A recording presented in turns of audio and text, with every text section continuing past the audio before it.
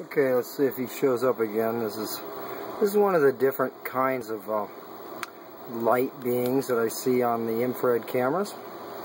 Let's see if he comes back. It's just a basically an orb, but to me they seem a lot more intelligent, um, a lot more. Uh, they like to have fun playing around with the cameras. But here's here he is. All right, they're very. Uh, they're quite an ability.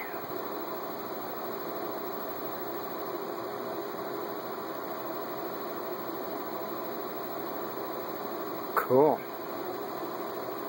Well, I gotta go make finish making dinner right now, so unfortunately I have to shut this video off, but wow. I haven't seen any of these uh, type of orb things. Uh, going on close to two years, except for maybe an occasional one, but I used to see them all the time. All right.